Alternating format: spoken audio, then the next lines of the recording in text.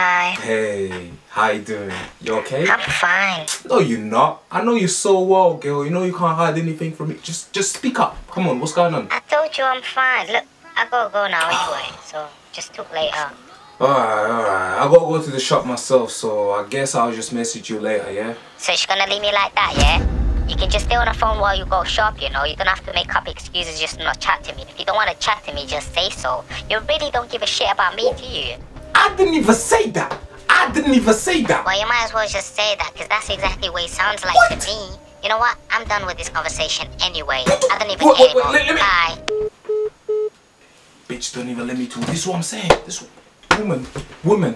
What?